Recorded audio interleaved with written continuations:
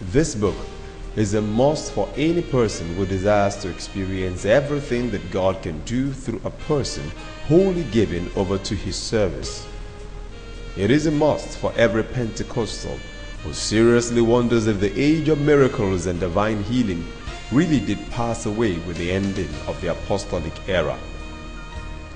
This book, A Man and a Vision, will inspire your faith and give you an honest hope that what God did in the apostolic church, He can and still does so today through those wholly committed to His service. Reverend James T. Pearce, Senior Pastor, Faith Chapel Assemblies of God, Bridgewater, Mass., United States of America. A careful reading of this book is bound to produce a harvest of commitment by all Christians to an aggressive task of accomplishing world evangelization in our age.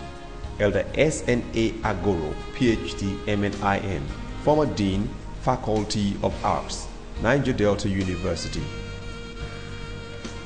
A Man and a Vision, written by Dr. Nonyem E. Numbere. Available in the headquarters and all branches of Greater Evangelism World Crusade.